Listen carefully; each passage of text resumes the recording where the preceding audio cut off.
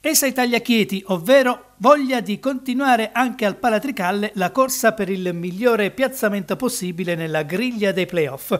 La squadra di coach Sorgentone infatti dopo essersi sbloccata in trasferta, dove non vinceva da tre mesi, ospiterà la Sutor Montegranaro, squadra giovane che occupa la tredicesima piazza in piena zona playout.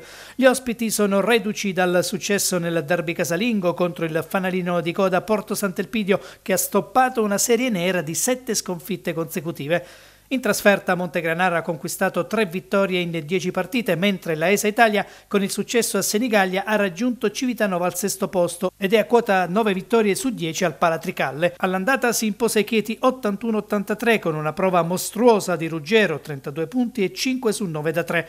I favori del pronostico insomma sono tutti per Chieti, chiamato comunque a non sottovalutare l'impegno.